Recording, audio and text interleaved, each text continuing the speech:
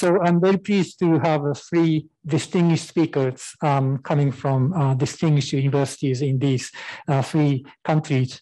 And uh, somehow, um, I think some of the presenters mentioned that the data has a huge potential for tackling societal challenges, including environment, sustainability, energy, but then that there are many uh, challenges. Um, so especially uh, we'd like to see what are the key challenges and opportunities in emerging economies. Um, somehow uh, in, in, Asia, we have uh, many countries and regions which are somehow trying to promote more economic growth, but at the same time uh, tackle societal challenges. So first, uh, I'd like to invite uh, Professor Wanxin Li. Um, she's a associate professor in the School of Energy and Environment in the City University of Hong Kong, and also she's a visiting associate professor in Tsinghua University in China. So the, the floor is yours. Okay, thank you.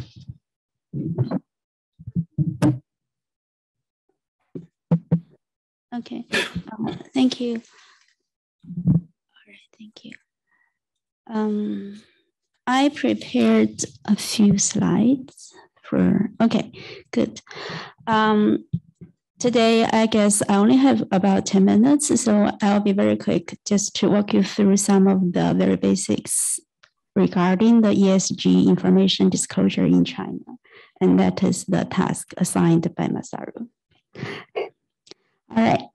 Um, in the next few minutes, uh,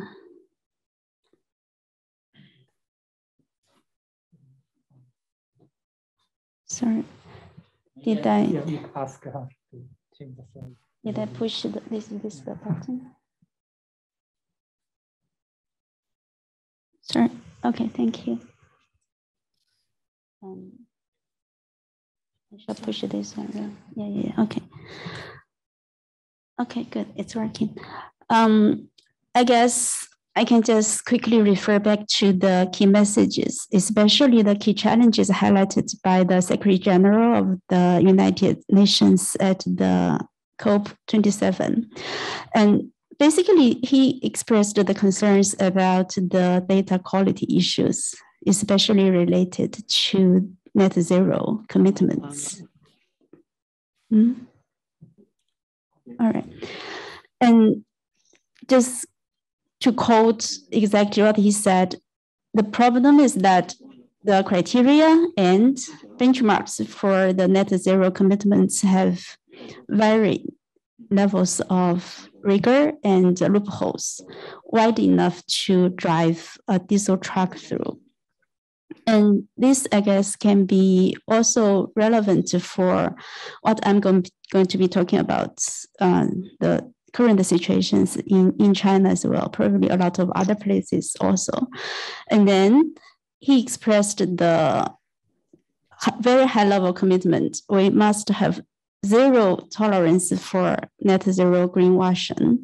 And that actually has been going on quite a lot in the ESG communities and in the financial institutions. And furthermore, he pointed out the four key areas of work. One is environmental integrity that has to do with whether we should be holding up to the 1.5 degrees Celsius in the global warming, and then credibility of the basically carbon accounting systems and accountability of all those different organizations involved in this business. And the last one is the role of the governments. And what I will be um, focusing on will be to look at what the government has done in, in China, because as you all may know, a lot of changes in China has have been mainly um, driven, no matter if it's through the pull or by pushing, then the government has been playing a very important role in the transition towards uh, low carbon development and uh, greener development, etc. So at the global level, the one of the major achievements is the global stock take. And uh, China has been trying to do that, especially uh, that is under the umbrella of green GDP.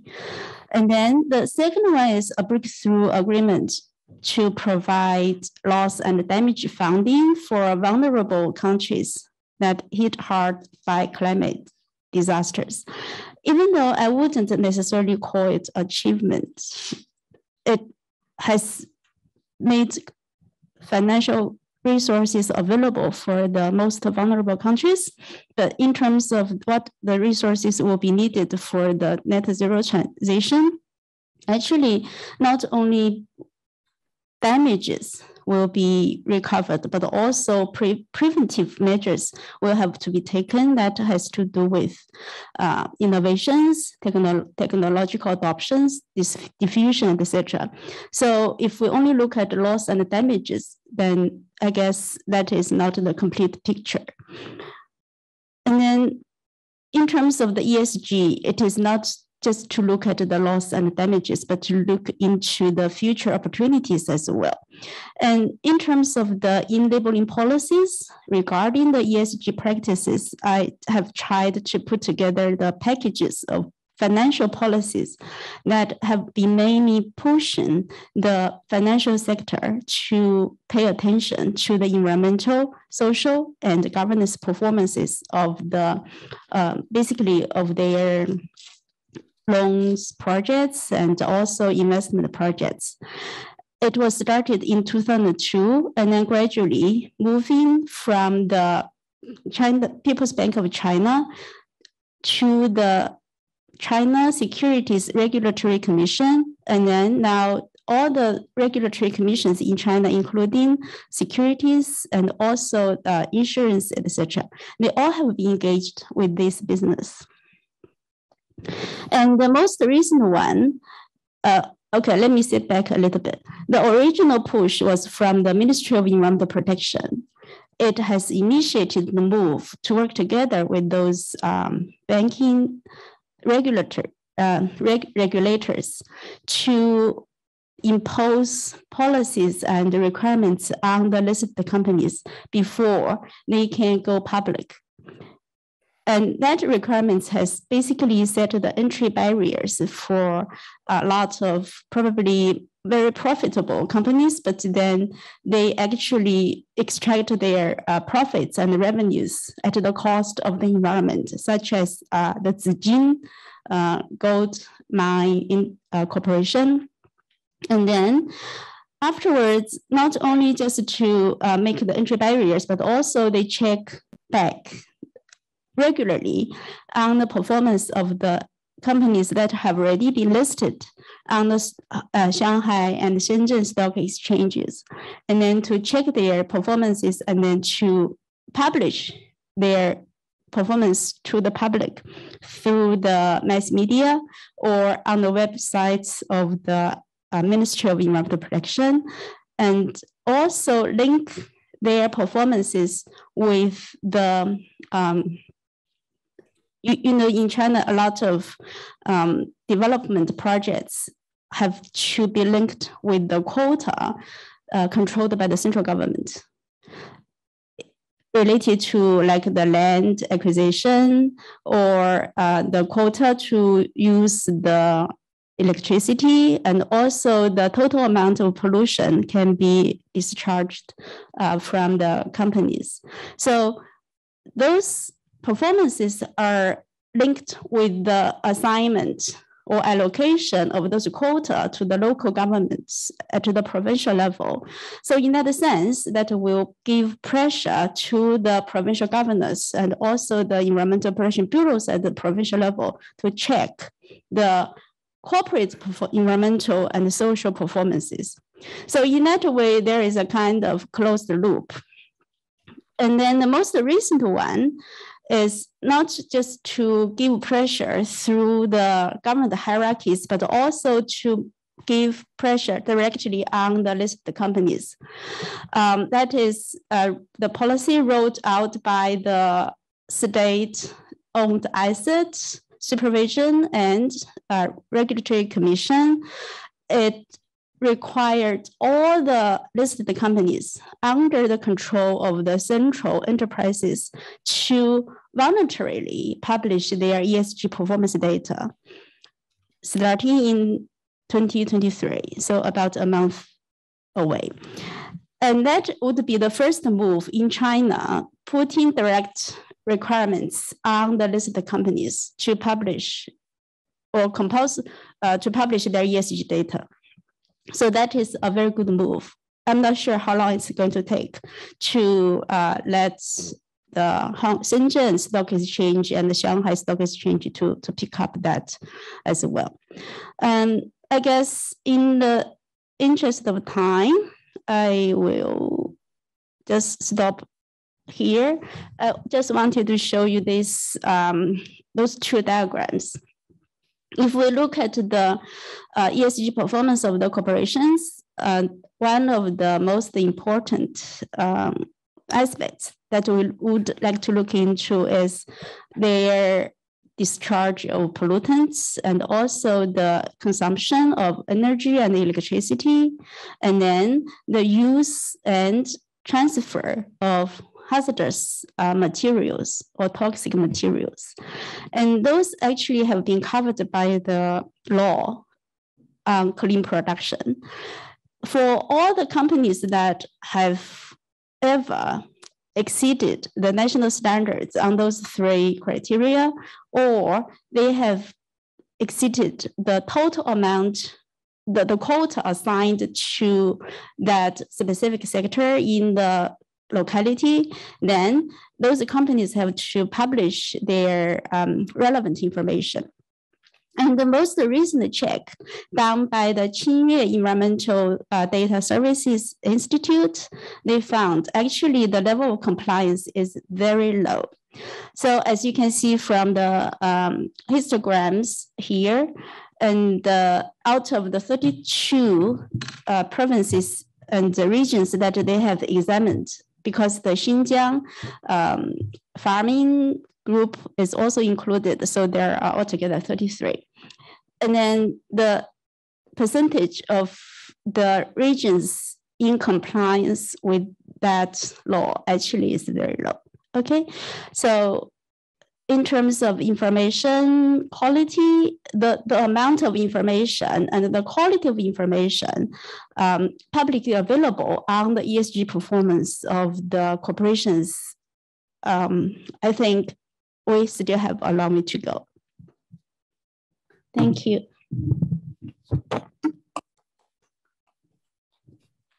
Thank you very much. Um, yes, I think uh, increasingly ESG has been um, emphasized by uh, many governments also in the financial sector, but then that the quality and quantity of data is actually fundamental to ensure that they are doing uh, good for uh, for the environment. But um, I think there are many challenges in, in this area still. Okay, thank you very much. Um, then I'd like to invite the next speaker, Professor Vigneswara uh, Iravara-san. Sorry, uh, my pronunciation is uh, completely wrong, I guess. Um, he is a professor at the School of Management in the Indian Institute of Technology, Delhi, India, and the floor is yours. Uh, thank you very much, Professor. I hope you are able to hear me and uh, you are able to see my screen. Uh, I'm sorry I couldn't attend it in uh, person. Thank you very much for the invitation. Uh, in uh, next five or seven minutes, what do I do? I will fo focus about India. I will basically talk about four major things. I will look at the potential of data-led innovation, what is going to happen, what is its present status, what are the challenges, and what can be done this is what I'm going to cover it in, uh, say, next six or uh, seven minutes or so. So when we talk about potential, uh, Indian government runs this uh, Indian Railways, largest employer, almost one of the largest employers of the world. It opened up a little bit of data related to catering and ticketing. And a lot more uh, startups uh, started doing business around this particular data, which almost composes of 34% of its revenue. So if you extrapolate it, uh, there is a possibility that uh, the startups in this particular country can uh, leverage this open digital ecosystem. It can lead up to uh, 148 billion US dollars. Some calculations we made, and uh, it is likely to contribute 5% uh, of GDP in this country. So when we look at this particular data, there is a lot more potential for data that can bring in. But unfortunately, that is not really happening. Very few companies are working on this. Uh, say, for example, a company like IndiaStat, started in 2010. Uh, it is doing a lot more work, making use of this open data and giving it for us a premium service. And in Indian market, there is a lot more uh, dark market is available for uh, uh, the, your personal data, especially for the sales and marketing agencies end up buying your data and using it. So there is a lot more potential in terms of revenue generation, innovation, employment generation, but it is not really happening. Right? What is the present status? Okay, I would say uh, data development or uh, data-led innovation or evidence-making or innovation, I would say that it's a work in progress in this country the country uh, started looking at it in 2012 uh, in terms of national data sharing and accessibility policy. The thinking is there, it is in the right direction. So we started an open government data platform. Uh, uh it, it, has data for 165 government agencies in 33 sectors. India is a large country. It is having more than 29 uh, different subnationals or states or provinces, we call it. So there are a lot more data flowing in. And the national uh, think tank run by the government is also looking at a national data and analytics platform where it ends up providing a lot of insights for people. But if you look at the uh, what if you look at the use, who are the people who are using this particular data? We do not have adequate insights on whether the government is really using it or not. But there's a lot more use by academic economists. We have a lot of research papers coming out making use of the data that is produced by the government. And we also have uh, uh, occasional sensational media reports uh, end up saying that uh, the rural population is spending more time on mobile talk time compared to cosmetics. Because those kind of uh, sensational stories come up once in a while. Otherwise, I do not see uh, much usage of this open data by either by various government agencies or by the private players in order to generate revenues. This is the status in nutshell. In terms of challenges, there is a problem. Why the usage is very low? One is uh, the quality asymmetry in terms of uh, uh data provision. There are a lot more missing data sets is outdated. If you look at uh, data.gov.in, uh, there are a lot of data sets that are coming in say three years old or four years old. It is not really useful for people who are looking at some business models using the recent data. And uh, there are a lot more data provision is dependent on subnational governments. Some of them are, are, are belong to the opposition party of the central government. There is always a subnational government and the central government power dynamics is going on. So a lot of times the sharing of the data gets also gets problematic. At the central level, uh, the policy advisory or in terms of regulatory environment, it provides uh, a lot more mixed signals after long, long deliberations, uh, we came up with uh, data anonymization protection guidelines uh, in August 22, but it is again uh, withdrawn uh, because there are a lot more criticism related to it. The government has withdrawn it and reworking on it. For five years, we discussed about digital personal data protection bill, and so recently a new one got introduced in November right? So if you look at it, uh, something gets introduced, there is a lot of feedback, criticism, and we go back on it, and the new thing gets introduced. So there is no clear signal related to this, how, what we are going to do with the data, whether the monetization is going to happen, or how we can use it for evidence making, it is not very clear. There is also a problem with uh, uh, when we open up the data, uh, the way you are using it needs to be aligned with a good governance image. You cannot say anything very critical about the government. When you start doing it, uh, the sharing of the data gets problematic. For instance, uh, we have a lot more information related to electronic transactions. This is a good story to say that the country is moving in the right direction. Whereas the data related to farmers' suicide or unemployment gets tricky. Either the government delays it or the way it is being written in various media, newspaper articles or, or, or trade press articles, it gets problematic. So the government is slightly skeptical about the usage of the data.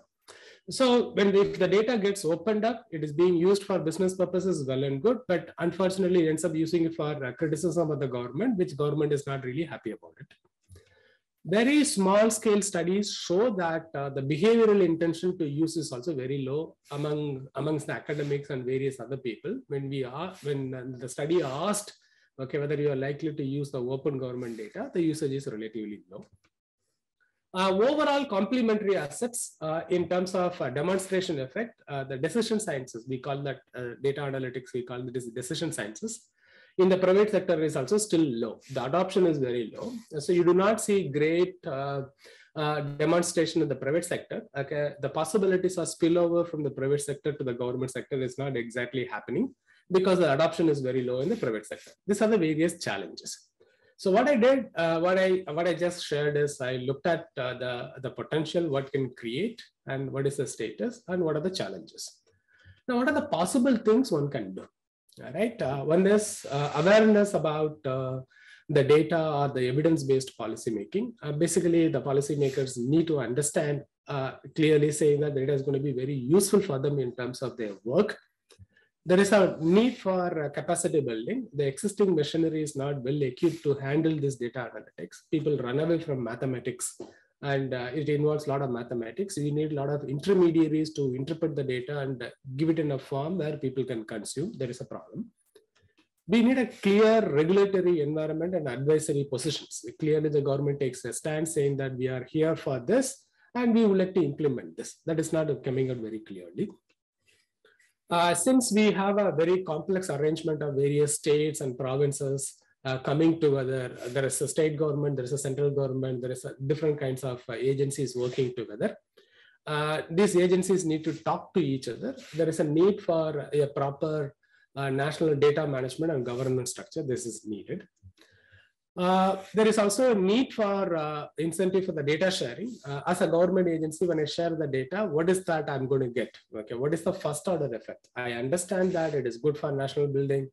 Uh, it is good for creating innovations and everything. But as a government agency, what do I get out of it? Okay, the first order effects are not very clear. There is no incentive attached to it. So there is a need for it. Personally, I feel that uh, the uh, startup should be encouraged. You open up the data and clearly say that, okay, this data can be useful for uh, thinking of new businesses.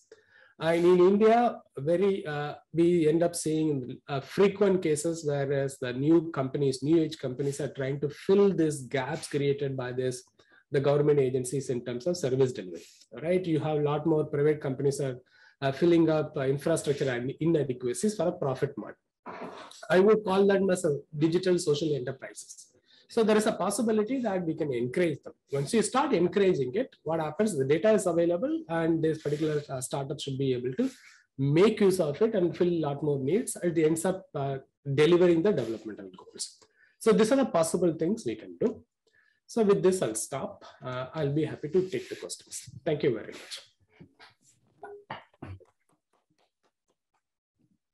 Thank you very much, Vignesh. Um, this is uh, such an excellent um, uh, talk about the all the challenges uh, you face in using data for uh, innovation and also some of the challenges like data sharing and also um, the, uh, the, the uh, regulatory framework to encourage all these incentives.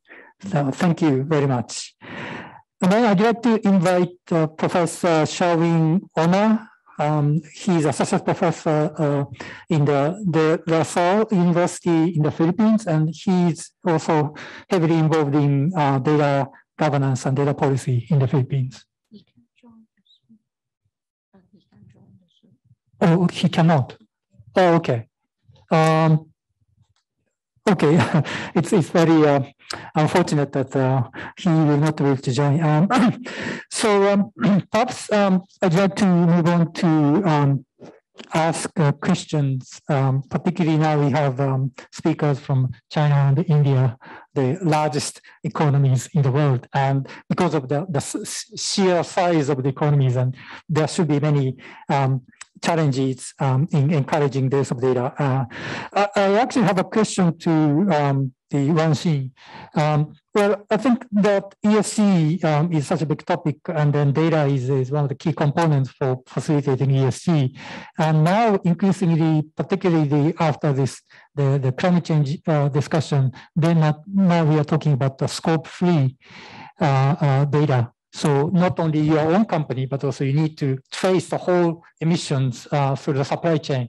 So how China is going to address this challenge? Because it's really about the data sharing among companies and also the governments, but this really requires um, some solid uh, institutional environment to encourage all the stakeholders to share the data and use the data. So how uh, China is, is, going to address this uh, huge challenge? Um, in terms of um, tracking the um, transactions, Um, as you may know, the value added uh, tax in China actually that could um, potentially facilitate that exercise because that value added tax itself is to track the additional uh, production processes occurred in the basically in the supply chain. So through that, it may be possible to also trace what kind of resources and uh, amount of energy, etc., have been carried out within the supply chain.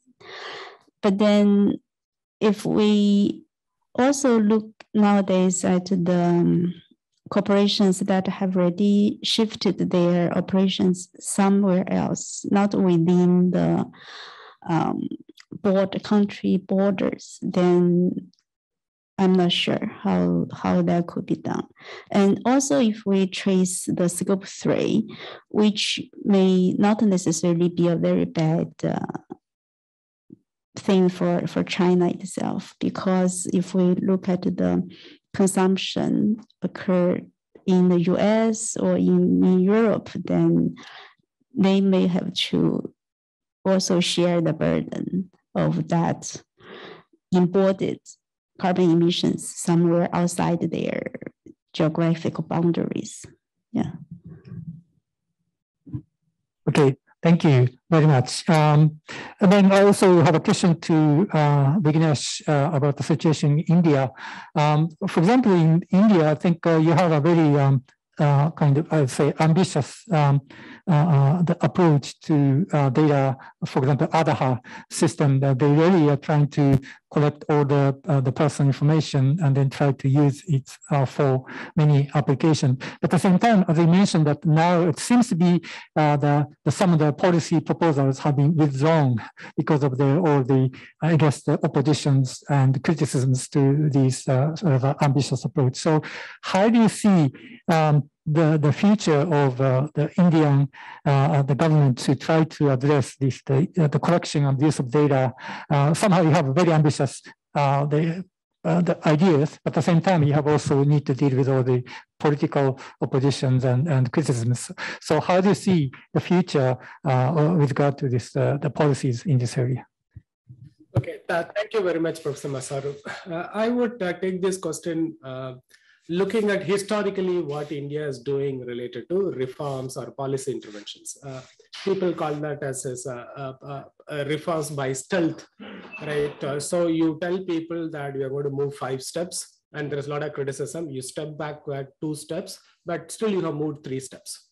So what do you do is uh, you introduce a, a bill, uh, you introduce a draft of the policy guidelines and there's a lot of criticism. You dilute it a little bit, but still you are moving in the same direction overall the government is uh, positive about uh, uh, using uh, using the data for developmental purposes.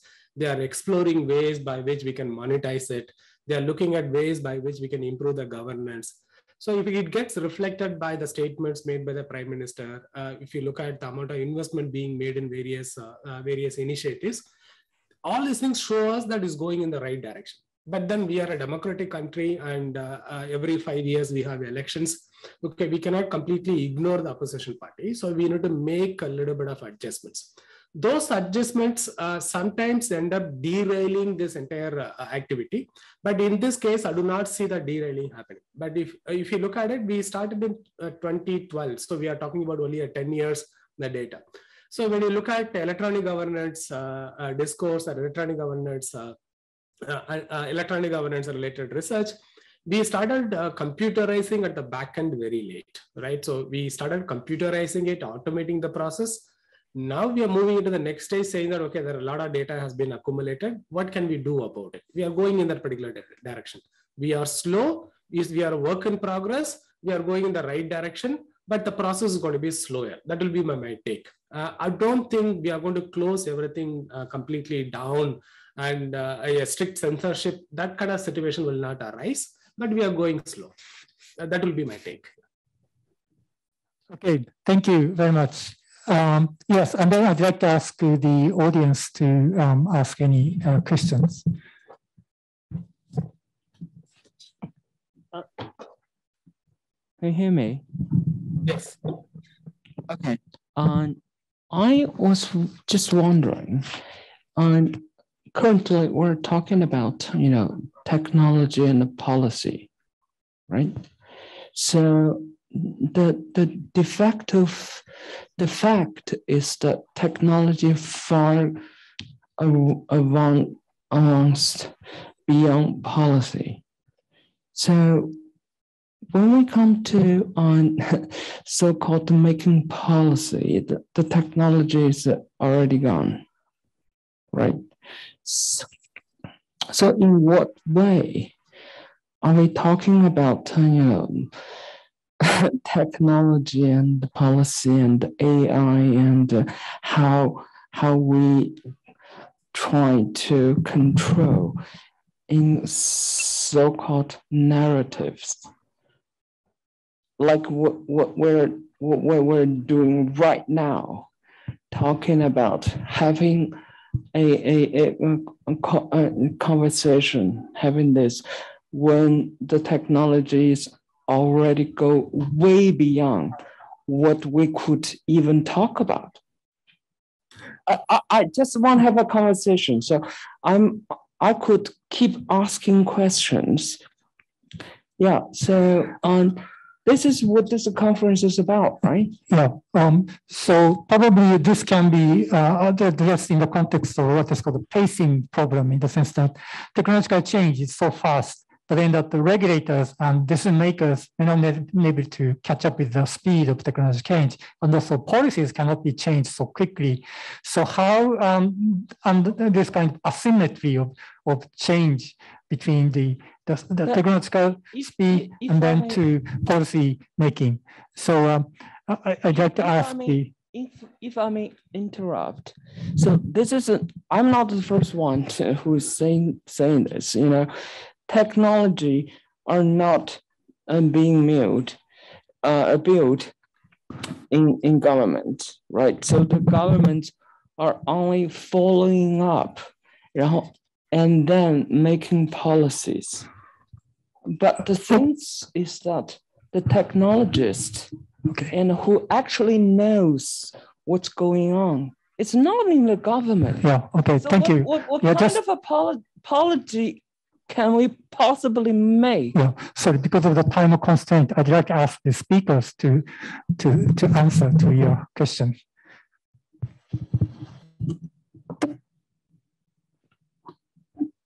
So thing or Vignesh? Okay, I, will just take a first cut. I'm out. I may not be able to answer fully address your question. It is a very big question actually i think a lot of people are worried about the data privacy and also the basically not not tyranny sometimes already right the tech companies would uh, misuse and abuse their high or very advanced um, level of knowledge on information and then to manipulate and to their advantages. So that, that has been going on. But then to what extent the government can probably make good use of those machineries and uh, technology for the common good.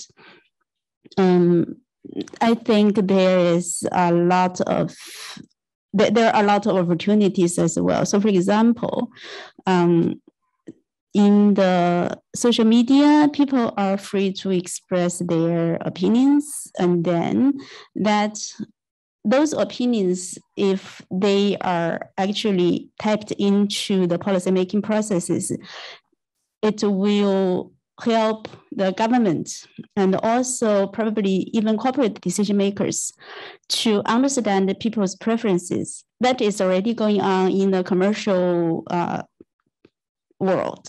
They will do targeted um, advertisement already. But then for the government, if they really want to make good use of the limited resources and also to meet the needs that would be probably personalized needs of their constituencies, then that information reviewed through the social media platforms could be a very good uh, source to draw upon.